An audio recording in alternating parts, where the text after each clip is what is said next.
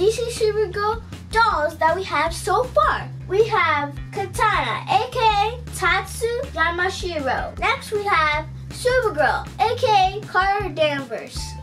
Next we have Wonder Woman, aka Diana Prince. Next we have Batgirl, aka Barbara Gordon. Last but not least, Bumblebee, aka Karen Beecher.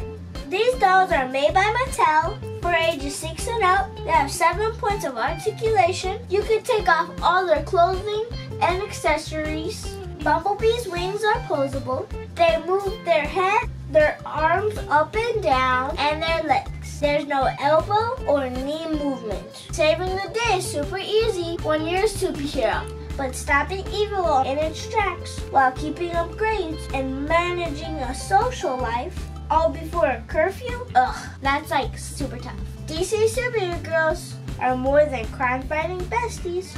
They're a diverse group of dedicated super teens. Working together, they fight the battles of Metropolis and the battles of growing up all at the same time. In this collection, you can also collect Green Lantern and Zatanna. You can get each of these dolls on Amazon for $9.99. And that price is just prime.